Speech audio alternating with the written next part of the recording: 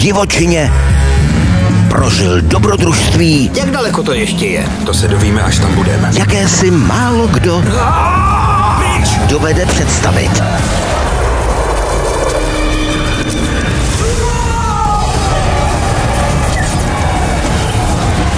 Velký milovník Erale, Rose, ty bastarde. a hollywoodská hvězda. Perfektní místo na smrt. Dej vědět příbuzný, protože domů pojedeš v formě. Dobrodruh Flynn.